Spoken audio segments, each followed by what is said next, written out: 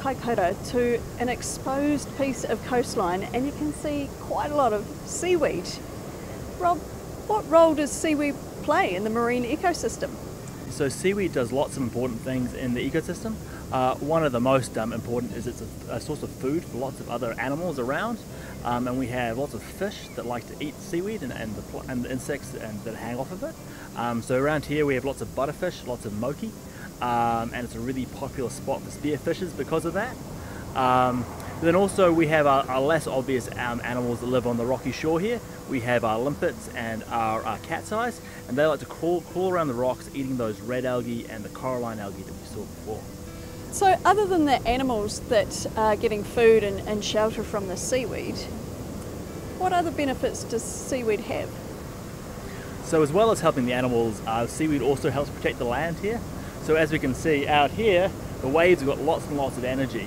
And seaweed, especially big reefs of seaweed, can help to absorb that energy and protect bits of the coastline and the roads and the houses that we have along the coastline. Right, so good for the environment and good for people. And climate change.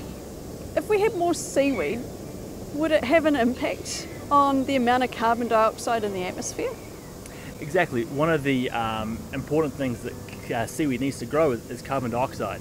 So that can take that from either the water or the atmosphere and use that to grow. So uh, seaweeds are really, really good at uh, using carbon to grow and sequestering that in the environment. And Rob, does seaweed have any other benefits in terms of the health of the water? Yeah, alongside with um, the carbon dioxide, seaweed's really good at using all the other nutrients that are in the water. So things like your nitrogen and your phosphor, uh, phosphate that comes in from rivers, seaweed will respond to that and you'll get big growth out of that. So really, seaweed has lots of roles to play in our ecosystem and ecosystem services, I guess.